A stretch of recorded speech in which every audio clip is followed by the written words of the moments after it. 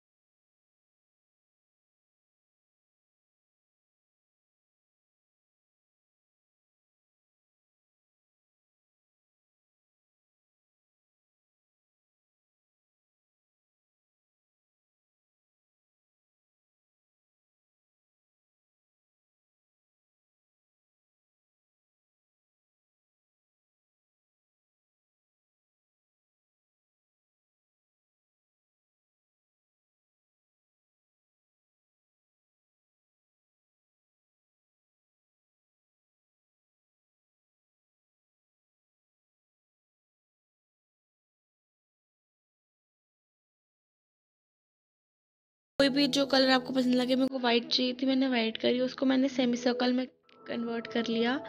अब जो star shape थी, मैंने उनको थ्रेड में डाल के नीचे बीट से लॉक कर दिया और ऊपर भी डिज़ाइन के लिए दो तीन बीट्स डाल ली।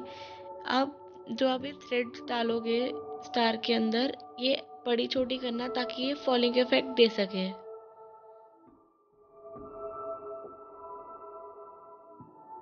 अब इन थ्रेड